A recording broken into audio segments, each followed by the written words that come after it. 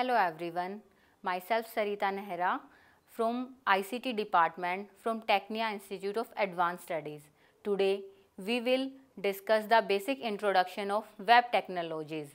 So let us discuss what is web technologies. Web technologies refers to the way computers or devices communicate with each other using some markup language. So now let us discuss what is a home page the main page of a website where visitors can find hyperlinks to the other pages is mainly known as the home page of that website.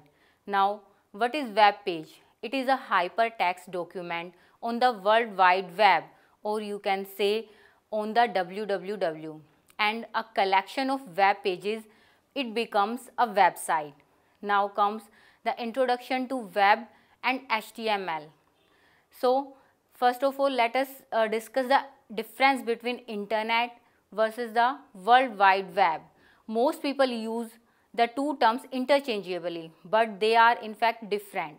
The internet is a vast international network made up of computers and the physical connections between that computers like wires, routers, gateway etc. allowing them to communicate where the World Wide Web or just WWW is a collection of software that spans the internet and enables the interlinking of documents and the resources, provides a way of accessing information on the internet. So, you can understand that World Wide Web and internet, they both are a different things.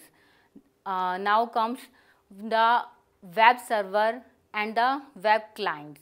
The internet basically works on the web client server model. A web server is a computer that is programmed to send files to the browser on another computer connected to the internet. The web browser such as Firefox or Internet Explorer is the client that sends a request for a web page. The web server answers the request and delivers the requested page to the browser so you can view it. Now let us discuss what is HTTP. HTTP is basically a protocol. It stands for Hypertext Transfer Protocol. As you know, protocols are set of rules that are defined for some particular task. Therefore, HTTP allows computers on the World Wide Web to communicate with other computers. It handles the request sent to the web server and the response received from that web server. Now, let us come and discuss the URL. Uh, URL stands for Uniform Resource Locator, also called the web page address. You typically type it on your web browser's location bar when you want to view a web page. Now let us discuss what is HTML. HTML stands for Hypertext Markup Language. It is basically used to create a web page. It is made up of tags that specify the structure of the document. So, this section is a heading, this section is a paragraph etc.